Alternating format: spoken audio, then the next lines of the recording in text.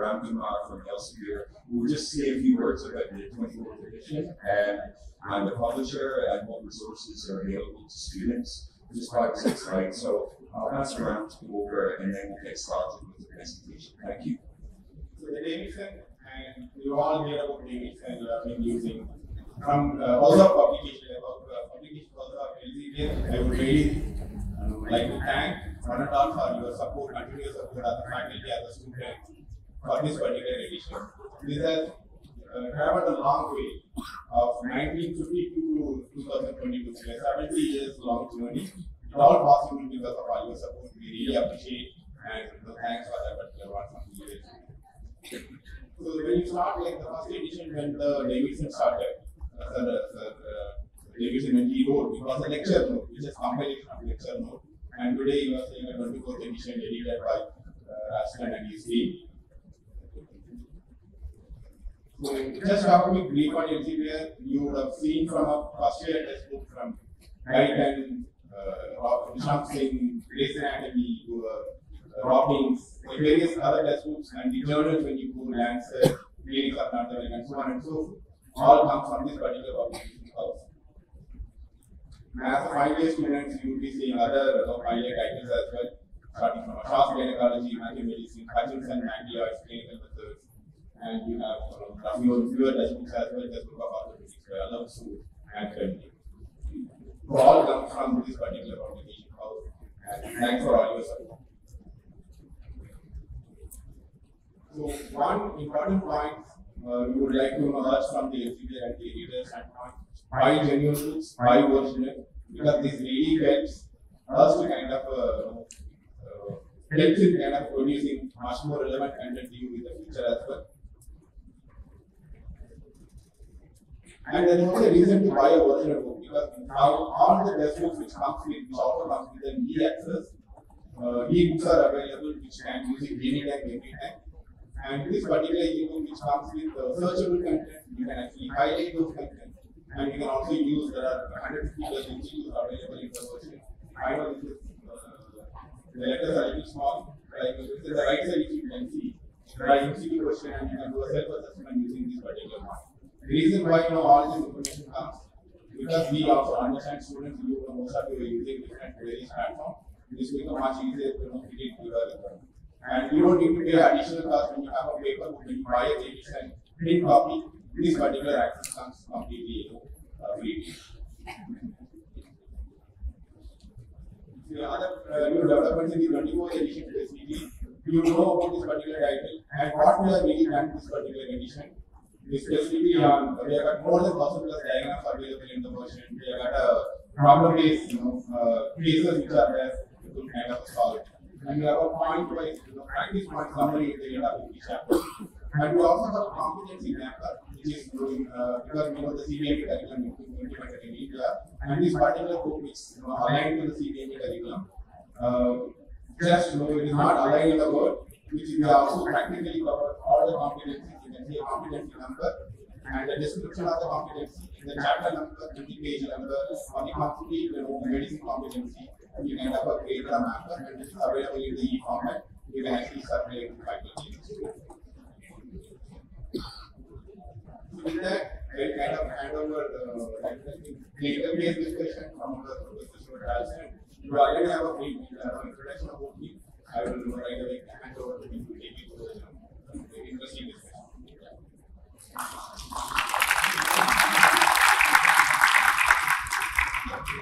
And what I'm going to try and do is um, I want to do some audience interaction during the cases with um, a system called Slido. And I just want to try it out uh, just to make sure it's working. Yes. And we'll, we'll, we'll just do how this works. You know the mobile phones? Yeah, mobile phones. Roll your mobile phones, get in the right. And um, what I want you to do is, um, is log on to Slido, which just a thing from up there. log on to Slido, and if you enter the code, uh, you'll be able to vote, okay? So here we go. It's um, slido.com. I don't know if you can scan that, maybe too far away, but the, the code number is hash 1108 Okay. And um, so the question, the test question, which is a topical one, which team is most likely to win the cricket? I know this is a sore point for some people in the audience, but uh, if you think someone to win the cricket, you can either vote for one of two slides. And if you vote, you should register on this. I hope.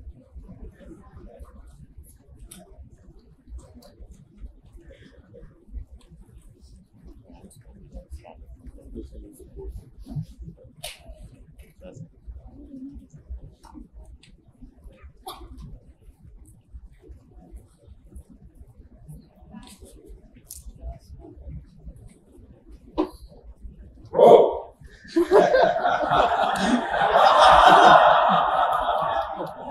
I see.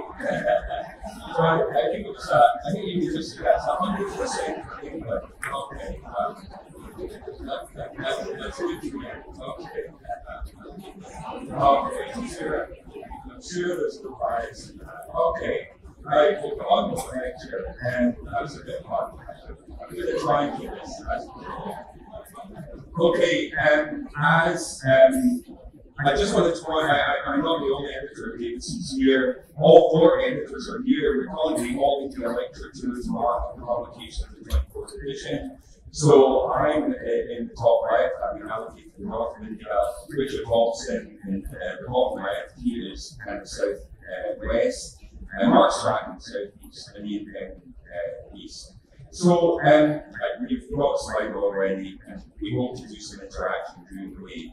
Now, what I'm going to do is uh, hang a presentation around four clinical cases. So I will um, tell you about the clinical cases, and I'll show some investigations, and I'll ask you what you think the diagnosis is, and then we'll, we'll, we'll reveal the diagnosis and we'll talk about what the underlying disease is.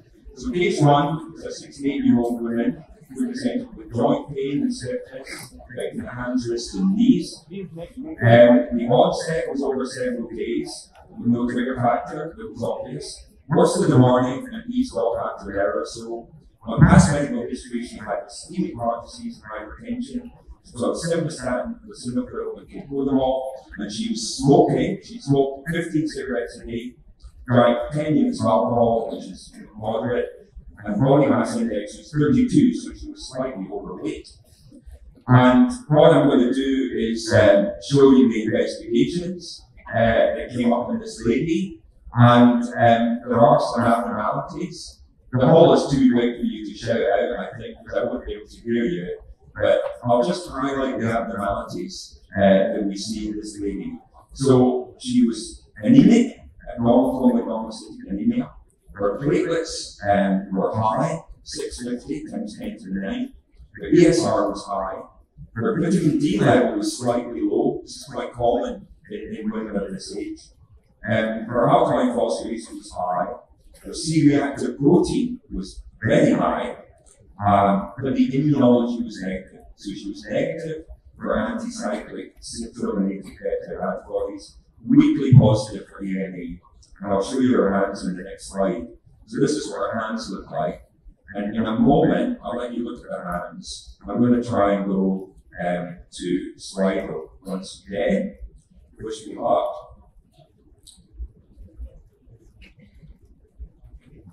Still on her hands. Okay, let's try. Yeah, here we go. Um, so I'm going to stop that, and I'm going to um, go on to the next one.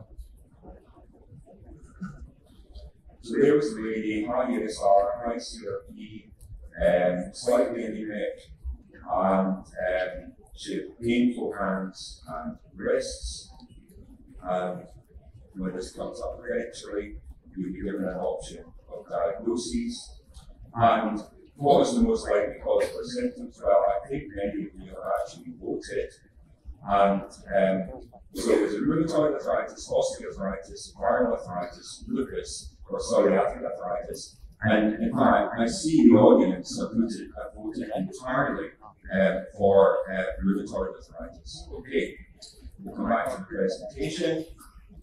And you're absolutely right.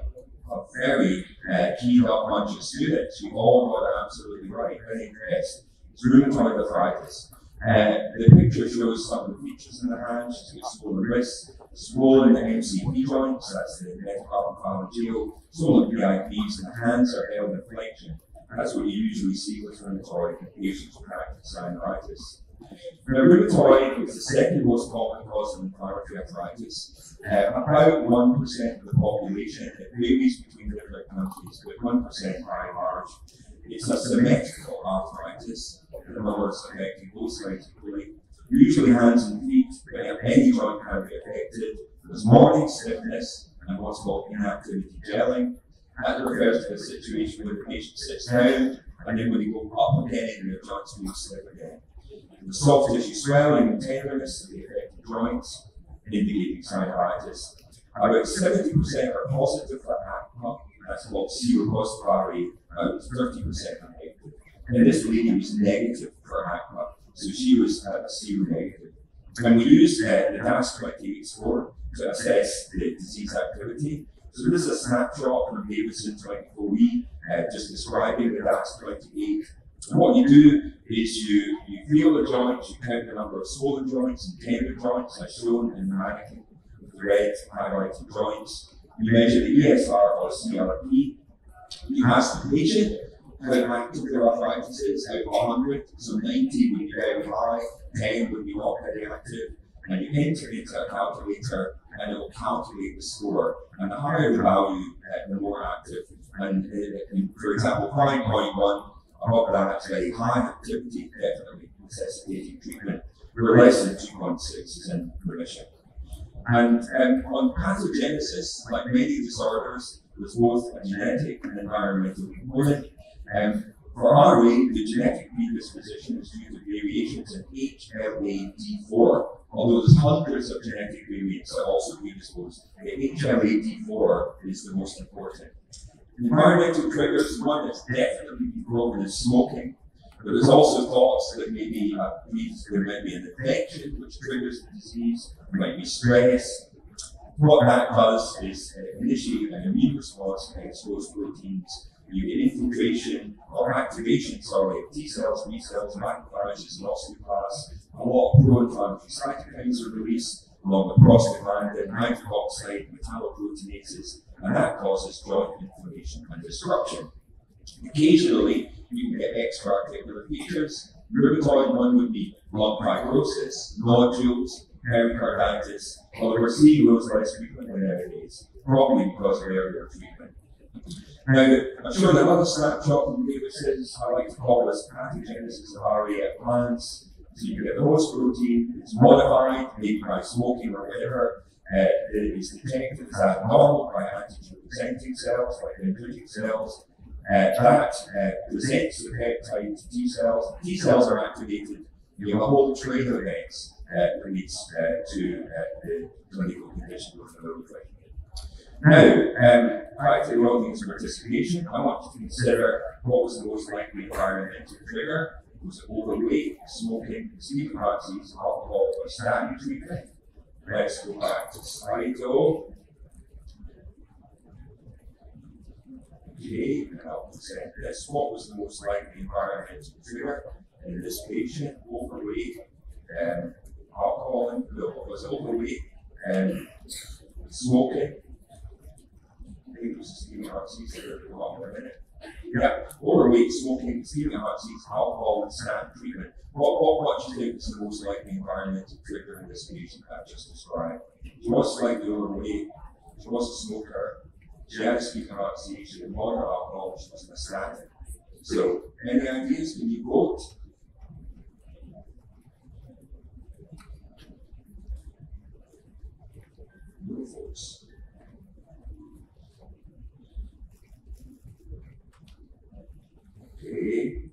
comic strips.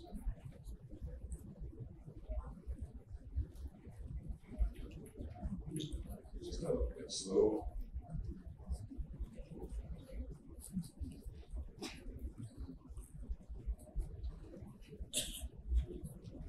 Very slow. Right, and in this patient, in this particular patient, like I'm actually sort of thinking about, it's actually smoking was the most important trigger in this patient. and and um, smoking is a very strong risk factor for rheumatoid, also inflammatory bowel disease. So it's something to keep in mind when you see patients who do smoke. Now, on management of rheumatoid, this is uh, go through the modern management.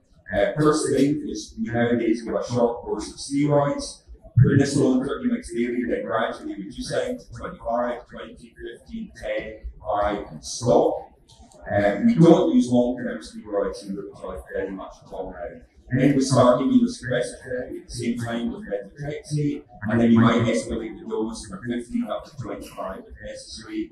You would refer to physio, you would refer to occupational therapy, and ask to stop smoking.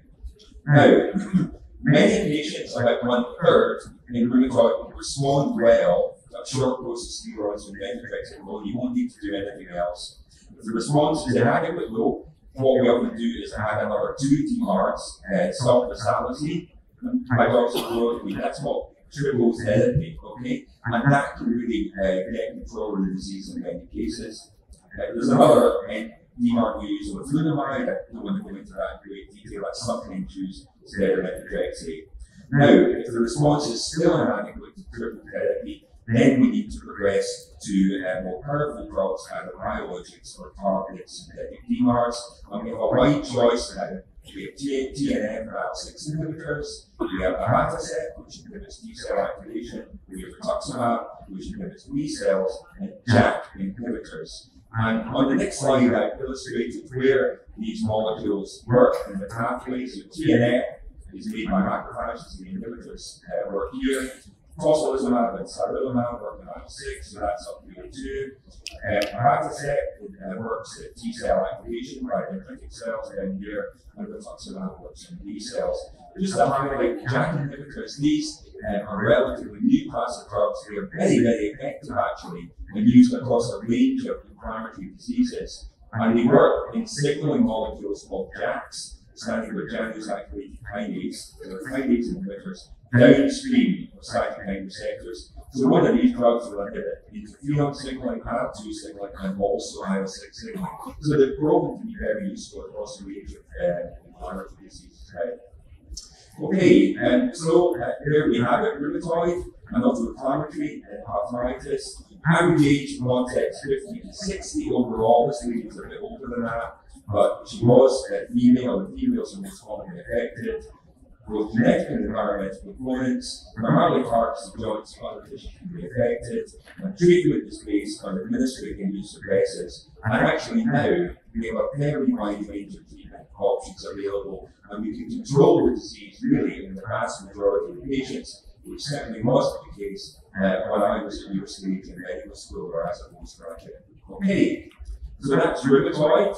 Um, I'm going to go on to uh, a second case a totally different. A 32 year old man with pain in his lower limbs of about six months duration. It was worse than weight bearing. He had bone pain since childhood and was diagnosed with having rickets. And in fact, he underwent orthopedic surgery as a child. He was on at the time of the tramadol, paracetamol, and alpha calcidol. Now, alfacalcidol is an active vitamin D metabolite, okay? He's a non smoker, did not drink, short stature, which is relevant, and his body mass index was normal. And uh, I'll show the investigations again, and I'll just highlight the abnormalities. And the two major abnormalities were his phosphate was low, and his alkaline phosphatase was high. Okay. Hemoglobin, hematology, nothing very much. On X-ray, of his lower limbs, I'd just like to show you that. So on the left, you've got the X-ray tibia. On the right, X-ray femur. And I'd like you just to look at that for a moment. Okay? And I'd like you to consider um, what the likely diagnosis was. I'm going to give this slide one more go, and if it doesn't work, I'm going to stop it. Okay?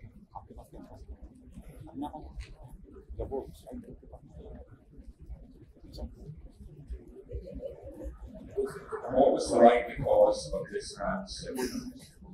Let's give it a try.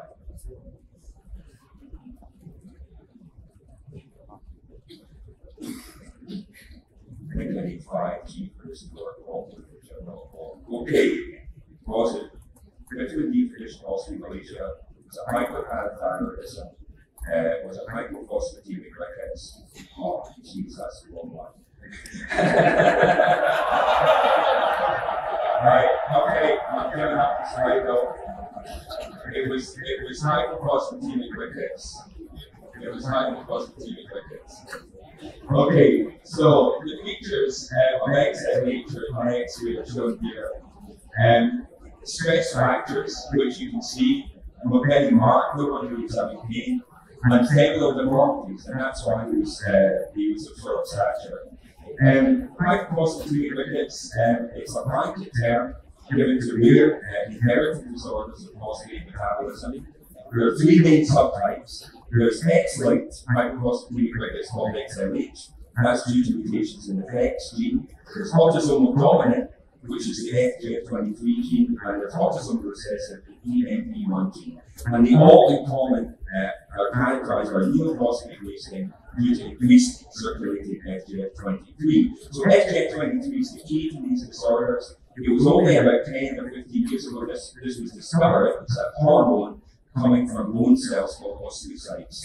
The presentation is usually with childhood rickets resistant to standard treatment, and you have all problems with it like deformity, growth retardation, fractures, enthesopathy, which is like a no-way type disorder, and dental problems. Okay, so here's the pathophysiology. I want you to uh, uh, think closely at this. So in fact, in DMP1 mutations, what happens then is these gene mutations, the genes normally suppress FGF23, but the mutations don't permit that. So there's too much FGF23 produced, and that acts in the kidney to increase phosphate excretion and suppress 125D uh, synthesis, and that causes rickets. The ADHR, the other type, here the mutation is actually in FGF23 itself.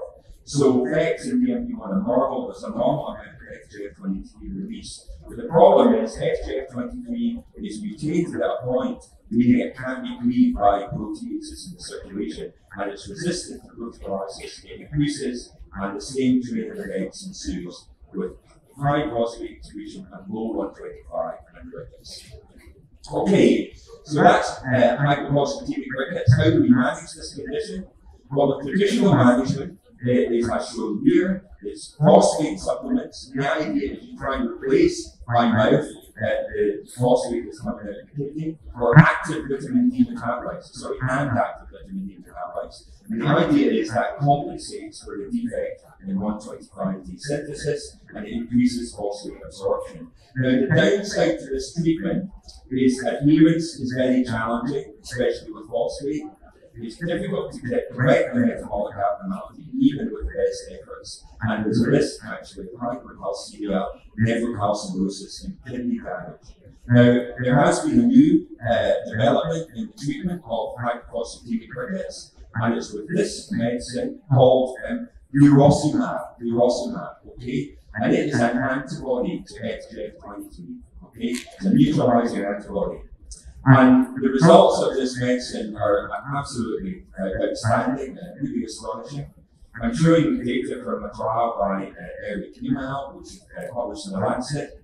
And what he looked at is he compared conventional therapy, that's the red uh, bars, with burosumab, that's blue, on rickets, bone deformity, and ALP, reflecting uh, healing of rickets. And what he found was burosumab was better uh, the conventional therapy at healing rickets, at both 40 weeks and 64 weeks, better than conventional therapy at preventing lung deformity, and better at giving biochemical control. So it really is a fantastic development in childhood rickets.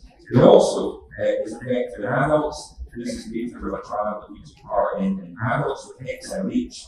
And there were two groups. One was burosumab, that's the blue lines. One was placebo, that's the black. And in the first 24 weeks, there was 43% healing with burosumab, only 7% with placebo. And it got even better with burosumab, up to 63%. At this point, all of the placebo patients were transferred to burosumab, and their started to heal. So in fact, the young man uh, I presented was in this trial, and the medicine completely changed his life. He was managed to keep off uh, people all painkillers and actually return pretty much to normal. So it is a huge advance uh, uh, in the treatment of this disorder. So, hypophosphatemia rickets, just to summarize, rare inherited disorders caused by neophosphate wastage. Most commonly, the, the mediator is FGF23. Most common form is ethylene. There's a lot of morbidity with this disorder in the form of deformity, fractures, myopathy, growth retardation. In, as years move on with the availability of this have treatment, I think we'll see those much less. And because it really truly has revolutionized management. Okay, now we have the next case. It's a young man with low back pain and hip pain. Here's the presentation 23 year old man, low back pain uh, in the morning, but also was when he was working, he was a tire fitter, which is relevant to the presentation. Over the past two months, he developed pain in the left groin on walking. So that's a new symptom, more recent. There was no history of trauma, he was on painkillers, nothing very much on demographics, and lowish body mass index. Just to show some investigations, I'll, I'll let you have a look at these. I won't ask for suggestions, uh, just because of the size of the hall But the two main abnormalities on the investigations were the fact that his ESR was high and his C-reactive protein was high. So when you see a raised ESR, raised C-reactive protein, you're thinking inflammation or infection. That's the two things. And I'm going to show you the X-ray of his pelvis. Okay, that's the X-ray of his pelvis. I'd like you to look at that. Um, it's quite tricky on this, and uh, we'll, we'll come to uh, the MCQ and I'm also with uh, Slido, so I'm going to look for a show of hands from the audience. So there you go, that's the history, lower back pain, stiffness, left, left hip pain. What's, you put your hands up, what's, who thinks he's got a slip disc as a result of his symptoms? No up. Anyone for mechanical back pain? Mechanical back pain, very common. Anyone for axial spondyloarthritis? Axial spondyloarthritis. You, Principal thinks that. I would go with him. Axial spondyloarthritis. Pelvic fracture.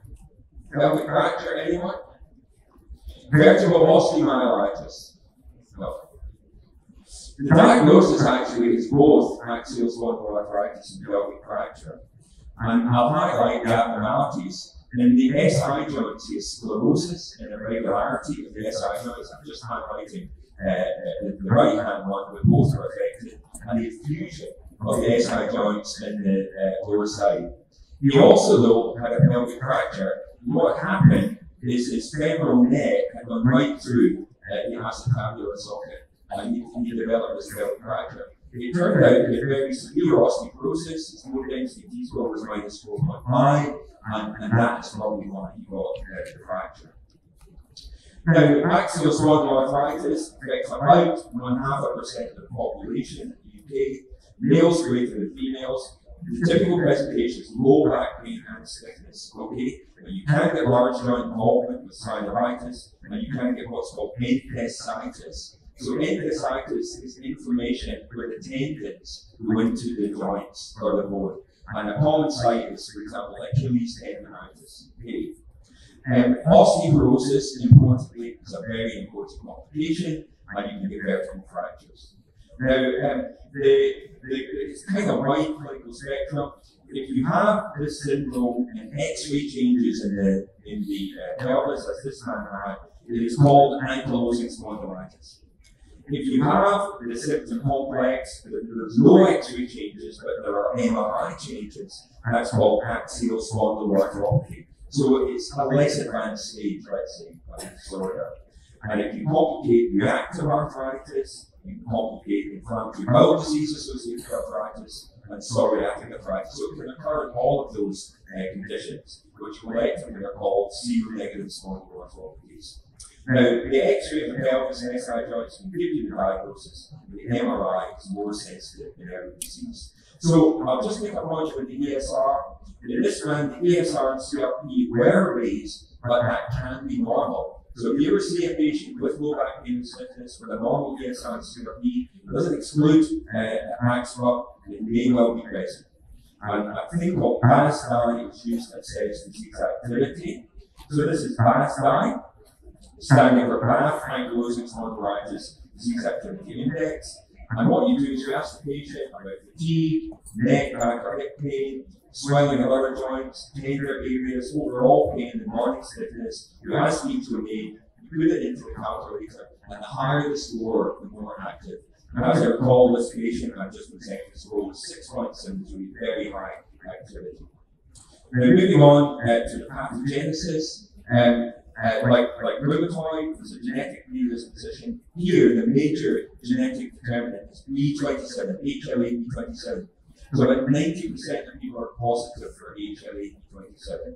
Uh, but there are multiple other variants that predispose. The environmental trigger, the leading theory is that it's changes to the intestinal microbiome that trigger this, causing activation of the immune cells and develop submucosa, including Th17 cells, which, uh, uh, which leads to production of IL-17, IL-23, IL-22, and those cytokines cause inflammation in the joints, the entheses and synovium, and eventually the joints can completely fuse. Now, again, a snapshot from Davidson 24E. This is a at a glance how things happen. You've got the microbial uh, things going on in the gut, activation of dendritic cells. IL-23, this seems to be quite a pivotal cytokine leading to increased IL-17, um, which leads to increased TNF. And as I'll show shortly, all of these uh, uh, molecules are targets for treatment. Now, with regard to the management, still, the first line of management of AxSpA is non-steroidal antiviral drugs or NSAIDs, naproxen, typically 500 mg TID, or celecoxib, 200 mg TID. We also refer the patient to physio to do back exercises to try and promote good care. If the response is inadequate to NSAIDs um, and advanced times to the core, then we can move on to um, more targeted therapy. That would be anti-TNF, adalimumab, etanercept, there's a whole lot of other anti-TNF drugs, IL-17, secukinumab is the one we most commonly use, or JAK inhibitors. I just told you already the rheumatoid uh, case about these. So all of these are effective therapies if NSAIDs alone don't work. So uh, just a bit of uh, evidence uh, backing up the use of IL-17 inhibitors. So the right panel is the ASAS 40. That's a plot. The percentage of patients with a 40% improvement in their disease score. And on the right is ASAS 50. So on the right, this is uh, IL-17 blockers. And as you can see, much better than placebo. The placebo line is down here. And uh, infliximab, a TNF inhibitor, much better than placebo. So that's the evidence base upon which we are using those drugs. And it was similar for uh, JAK inhibitors too. So, in summary, axial spondylo is a group of inflammatory diseases predominantly targeting the SI joints spine. HLA is important, microbiome may be involved. It's a wide clinical spectrum with spine involvement, but also maybe peripheral joint involvement. And you can also get a few extra-articular features. Notably, uveitis is a very uh, important complication. With the first line treatment is still NSAIDs, a variety of biologics that targeted DMARDs for resistant disease. So that next Okay, we're on now to our last course for today. We had a patient for today, and it's a 75 year old man with headache. Okay, so here's the history. Three week history of headache in the temporal and occipital regions. He's been color, he's had jaw pain on chewing, and he's had blurring of vision. His past medical history includes type 2 diabetes, osteoarthritis, previous MI, he's on paracetamol, he's on metformin for the diabetes, and he's on clopidogrel. He's a non-smoker, very small amount of alcohol, his body mass index just at the upper limit of normal. I will go through, as with the other cases, the investigations, and I'll just highlight once again the abnormalities. So he was very mildly anemic, not very much, slightly anemic. His platelets were very slightly high. The two strikeout things are his ESR is really high, it's 80, and his C-reactive protein is also quite high. And the question is, what do we think is the cause of this man's symptoms? Uh, could it be osteoarthritis of the temporal mandibular joints? Anyone, anyone for osteoarthritis? No. Anyone for a brain tumor? Could this be an intracerebral space occupying lesion? One? Someone at the back of that? Could it be a subarachnoid hemorrhage? Anyone for subarachnoid hemorrhage? Anyone for giant cell arteritis? See a few hands for giant cell arteritis, like you. Anyone for migraine? One for migraine? Okay. Correct answer is giant cell arteritis. Thank you to members of the audience that got that right. Um, it's it's a very typical history of giant cell arteritis, or GCA we call it. So this is the most common form of systemic vasculitis. It's actually much more common in my country and in India, but it still does occur. The peak incidence between 70 and 80, so getting uh, uh, keeping patient specification, keeping that, although it's actually more common in women than men. The presentation was headache accompanied by systemic features, and importantly, blindness can occur due to involvement of the short ciliary arteries and occlusion. Now, clinical examination is often unremarkable. It's possible you may feel enlarged temporal arteries and tender temporal arteries. In my experience, that's maybe only 10 or 15 percent of patients. It is often uh, accompanied by what's called rheumatica, which is a feeling of stiffness and pain in the shoulder girdle and the pelvic girdle. So on the pathophysiology, again, there's a genetic component. This time is HLA-DRB1. And perhaps you notice that rheumatoid, in AxSpA, in this condition, is all HLA determinants that are uh, predisposing or associated with disease. That's because antigen presentation is done in the context of HLA molecules, and with different HLA molecules, there seems to be a different propensity for the immune system to misrecognize self proteins as foreign proteins. Now, back to GCA, there's an refractory infiltrate of the blood vessels, medium-sized vessels usually. You get giant cells, here's one here, here's one here, here's one here, in uh, the vessel wall, hence the name giant cell arteritis. There's activation of T cells, Th1 and 17 macrophages, and that narrows uh, the vessel wall and leads to vessel obstruction. So um, it's a clinical diagnosis primarily. So whenever you hear a history like that, think, well, this could be giant cell arteritis. With raised inflammatory markers, that pretty much almost clinches it. And increasingly, we're using what's called temporal artery ultrasound to support diagnosis. And this is an image of a temporal artery ultrasound. It's a Doppler one. So what the red area here is blood flow in the vessel, and the dark area here is the surrounding vessel wall. And that's what's called the halo sign.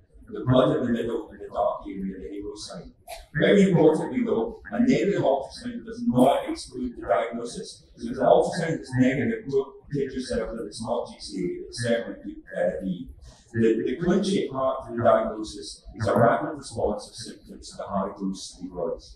Okay, and that is the treatment. The first line of treatment is high dose steroids. You give prednisone 40 to 60 weeks daily until the symptoms subside and the inflammatory markers fall, and then taper. Now, there's been a new development recently. We're using more um, in the way of immunosuppressants to act as steroid sparing agents. And I'm going to highlight one, which is called tocilizumab, which many of you may be familiar with the treatment of severe COVID. These are in treatment of severe COVID. Um, we also use uh, a little bit of methotrexate for azathioprine. Other things you may need to do is prophylaxis against osteoporosis, bisphosphonates are most common and address vascular risk factors. So, uh, just this is the evidence base for tocilizumab. So, this was a randomized trial. The participants were randomized to two groups. Placebo, that's the blue lines or the orange lines. So this group was randomized to placebo, either with a slow steroid reduction, that's blue, or with a fast steroid reduction. On the vertical axis is the number of patients free of relapse. So what you can notice in the placebo group, by one year, only about 40%, maybe 30 to 40% were free of relapse. In other words, 60 to 70% had relapse beyond steroids.